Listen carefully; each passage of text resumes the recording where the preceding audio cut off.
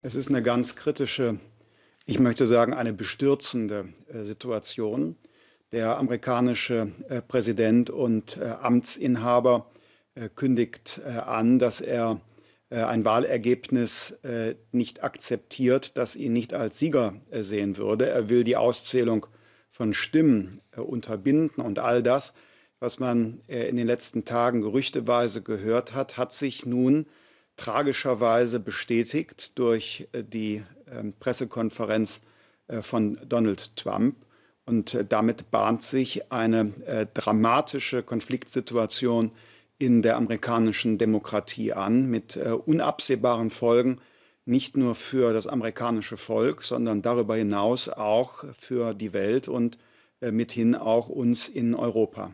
Wir wissen auch nicht, wie tatsächlich jetzt sich die nächsten Stunden äh, in den Vereinigten Staaten entwickeln werden.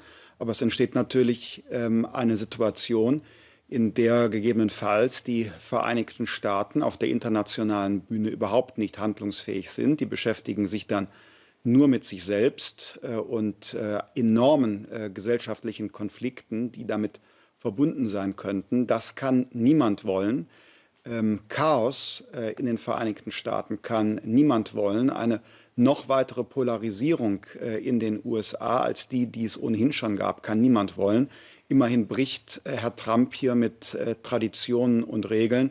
Und äh, bei ihm war man das gewohnt, diese Art der äh, Disruption und Erschütterung politischer Verhältnisse. Aber das, was er am heutigen Wahlabend macht in den USA, das übersteigt doch das, was man noch vor wenigen Jahren ähm, äh, Monaten für möglich gehalten hätte. Egal wer in das Weiße Haus einzieht, äh, Interessenunterschiede bleiben bestehen, etwa hinsichtlich der Lastenverteilung in unserem westlichen Verteidigungsbündnis äh, der NATO und die USA haben sich schon zuvor unter Barack Obama in Richtung auf den pazifischen Raum, auf Richtung Asien orientiert. Äh, wir brauchen also ohnehin, egal ob Trump oder Biden, eine neue Strategie als Europäerinnen und Europäer. Das ist nicht alleine nur eine deutsche Aufgabe.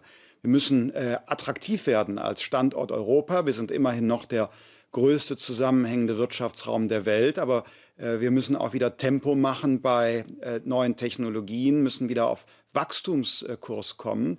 Ich bin der Auffassung, wir müssen auch auf der internationalen Bühne als Europa mehr Verantwortung tragen. Dazu äh, brauchen wir andere Entscheidungswege, um überhaupt gemeinsame Positionen beziehen zu können. Und nicht zuletzt, äh, egal äh, wer gewinnt, äh, die USA sind ein gespaltenes Land. Und für uns muss das ein Anlass sein, den Dialog mit den USA zu intensivieren, egal, wie gesagt, wer im Weißen Haus ist. Warum gibt es nicht gemeinsame Tagungen der Kabinette, wie wir das mit Frankreich machen, teilweise sogar mit der Volksrepublik China. Und warum machen wir uns nicht auf den Weg, äh, überall dort äh, neue diplomatische Vertretungen beziehungsweise Dialogeinrichtungen wie Goethe-Institute zu gründen, wo auch die Wähler von Herrn Trump sind. Die USA werden eben nicht nur durch Hollywood und Wall Street bestimmt, sondern auch durch das Land, was dazwischen ist. Und da müssen wir in unserer Diplomatie im zivilgesellschaftlichen Dialog äh, als Europäer, insbesondere auch als Deutsche, wohl hin.